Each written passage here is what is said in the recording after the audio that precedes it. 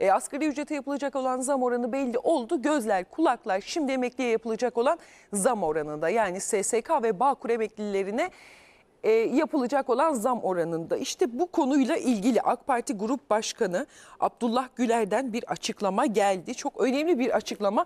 Dikkatle dinleyelim. Ankara'ya gidiyoruz. Tülayağlı bekliyor. Bu gelişmenin detaylarını bizlerle paylaşacak. Tülayağlı kolay gelsin. Seni dinliyoruz. E, Merve Türkay, AK Parti Grup Başkanı Abdullah Güler'den önemli bir açıklama geldi. Emekli aylıklarının oransal artışla iyileştirileceğini ifade etti ve bu bağlamda e, kısa çalışma ödeneği ve çalışma hayatına ilişkin 7-8 maddelik bir düzenleme üzerinde çalışıldığını söyledi Abdullah Güler. Peki bu düzenleme ne zaman meclise gelir, meclis gündemine gelir?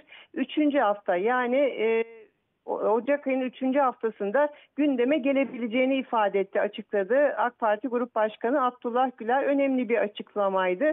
Emekli aylıklarının oransal artışla iyileştirilmesi önemli bir e, detay. Şöyle ki en düşük emekli maaşı maaşlarına yapılacak zammın daha yüksek olması öngörülüyordu diğerlerine nazaran. İşte bu konularda çalışma olduğunu ifade etti. Gerek kısa çalışma ödeneği gerekse çalışma hayatına ilişkinde yine 7-8 maddelik bir düzenleme üzerinde çalışıldığını söyledi e, Abdullah Güler AK Parti Grup Başkanı ve bütün bu düzenlemelerin e, Ocak ayının 3. haftasında Türkiye Büyük Millet Meclisi gündemine geleceğini de ifade etti Merve Türkay.